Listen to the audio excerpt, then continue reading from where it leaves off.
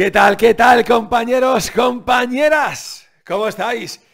Bienvenidos, bienvenidas a Planeta Deportes. Soy Jordi Gil y ya sabéis que es un placer así de grande compartir momentazos del Mundial con gente maravillosa. Vamos a hablar de uno de los grandes protagonistas de Planeta Deporte. Vamos a hablar de uno de los principales protagonistas del Mundial. Vamos a hablar de Leo Messi.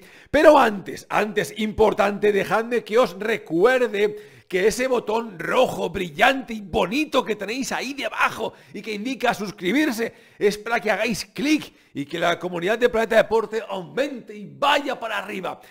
Leo Messi ayer ante los Países Bajos, decisivo, tremendo.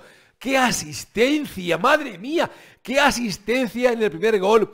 y el de Molina y, el penalti para el 2-0 y después el penalti en la tanda de penaltis y, su partido, su madurez, su liderazgo, em, va para más. ¿eh? Empezó un poquito ahí como que todavía no, no estaba con, con, las ideas claras en el Mundial, pero partido a partido ha ido cogiendo el pulso a la cita eh, mundialista y a día de hoy yo diría que eh, Messi junto con Mbappé son los dos grandes cracks del torneo. Recuerdo que ya Neymar no puede estar y que Neymar estuvo lesionado dos partidos, así que de momento tenemos a estos dos grandes referentes como, como los cracks del Mundial. Vamos a ver si Messi o Mbappé son capaces de liderar a sus respectivas selecciones a la final y, levantar la copa. Pero me quiero centrar en las críticas que está recibiendo Leo Messi tras el partido ante los Países Bajos porque se encaró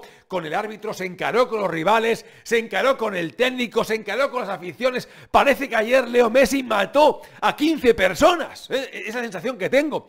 Y no soy yo, el que tenga que defender a Messi porque no lo necesita, para eso está él, están sus compañeros, su familia, etc. Pero, pero al final eh, me irrita tanta crítica, crítica barata, crítica que no viene a cuento. Que, que, como digo tantas veces, que somos humanos y que en momentos de tensión máxima, momentos en los que tenemos que gestionar una presión desmesurada, mm, podemos perder los nervios un poquito y, reaccionar de una manera que no sea el estándar que, nos han metido en la cabeza y que, y que salga del caminito, del redil, de los borregos y que, y que demostremos que nuestros brazos potentes o no tenemos sangre en plena ebullición. Y a mí no me importa que Leo Messi ayer dijera una palabra más alta que otra, o que se encarase, o que, o que saltase, o brincase, o demostrase una alegría exagerada delante de la cara de los holandeses, que no me importa, que me parece hasta bien.